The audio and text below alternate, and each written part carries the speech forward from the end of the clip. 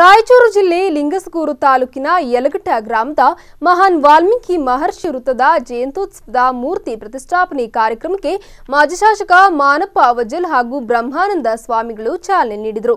ನಂತರ ಯಂಕಣ್ಣ ಕೊಲ್ಕರ್ ಮಾತನಾಡಿ, ಅನೇಕ ಸಮಾಜದ ಜಾತಿಯವರು, ಮಹಾತ್ಮರು ಹಲವಾರು ಕೊಡುಗೆಗಳನ್ನ ಧಾರ್ಮಿಕ ವಿಚಾರವನ್ನ ಜ್ಞಾನವಾಗಿ ನೀಡಿದ್ದಾರೆ.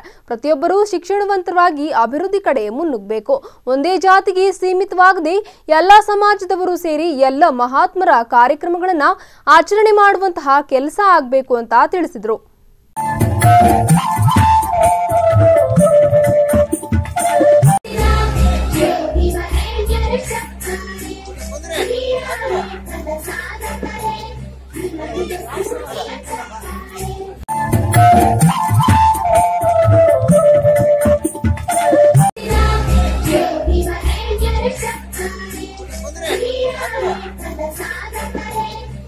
Thank you.